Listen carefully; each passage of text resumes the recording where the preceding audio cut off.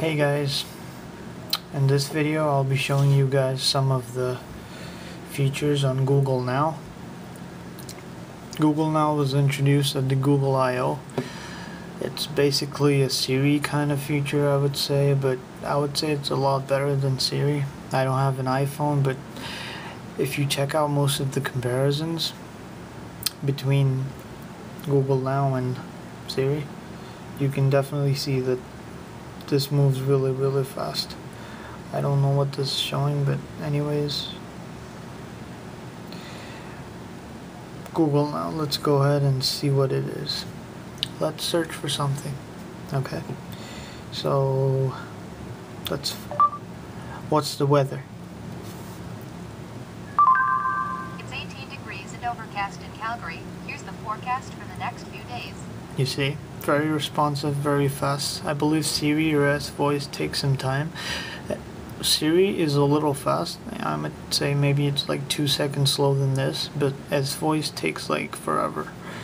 Let's ask something else. Let's ask it a tricky question. What's the height of the Eiffel Tower? Eiffel Tower is 1,063 feet tall. Hmm, smartphone, eh? Okay.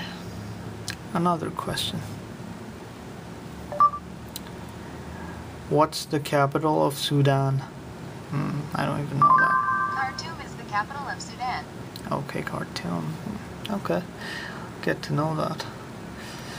Hmm, let's ask you a maths question, eh?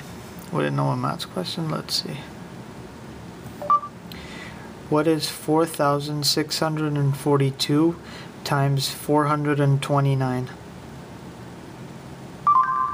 answer is 1,991,418. That was really fast. Oh my god, I need this phone during my maths class. I'm just kidding.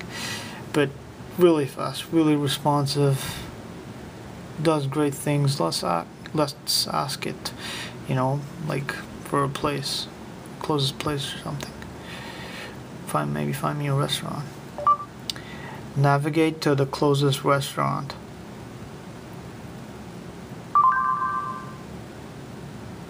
Navigating. Okay, Dickens pub. Well, that's a pub, not a restaurant. But anyways, it was somehow, you know, showing me.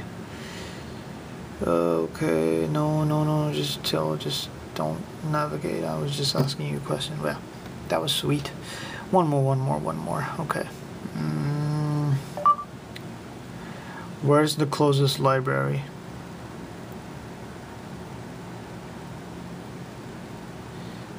Okay, seems to be sleeping. Did I ask the wrong question? Okay, let's do this again. Where's the closest library?